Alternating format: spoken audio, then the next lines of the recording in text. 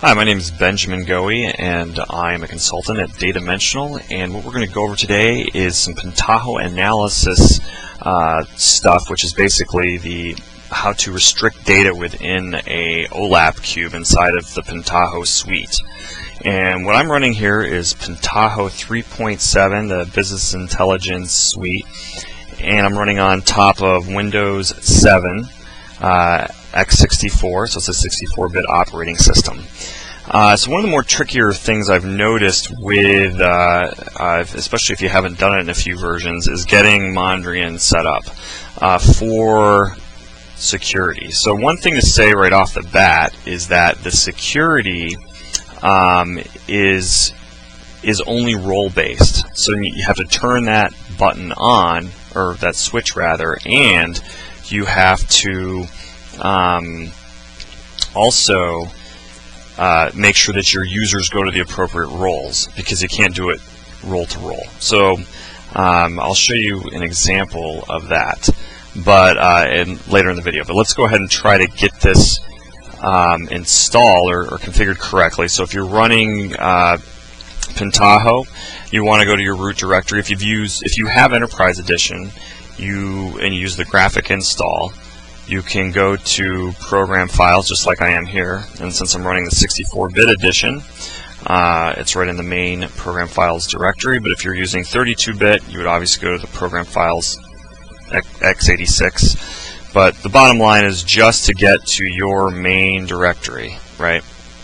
So this is my root Pentaho directory and the next thing I'm going to go is server so uh, most nearly all Pentaho installations, starting at the, uh, the Pentaho root, are going to be structured this way, or, or, a lot of them, very similar.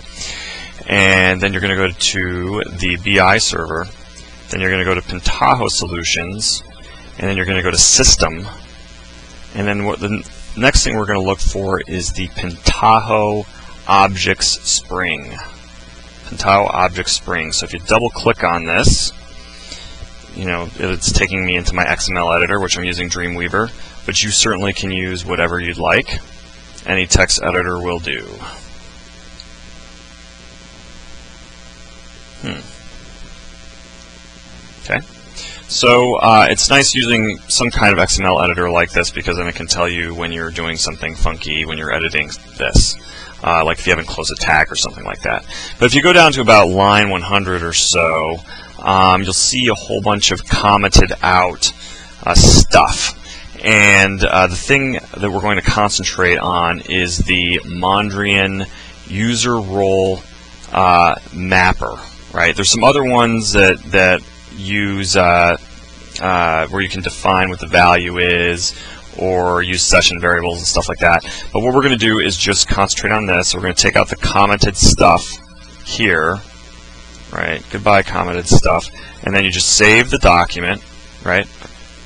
And everything looks okay, like all the other beans aren't affected. Uh, all your XML looks good. So basically, we just remove the uncommented information out. Now what you're going to do is reset your, your uh, Pentaho instance. So if you're running Windows, what you would do is go uh, into the main BI server CE or EE, depending on what you're using, and you would just go to stop pentaho.bat and then uh, once the server is completely shut down you go to start. Or you would use your services. You'd stop and start your services uh, if, if you have services set up. And that is how you would do that. So go ahead and do that now and uh, wait till your machine reboots and all that and of course I'll skip all that out so you don't have to see in the video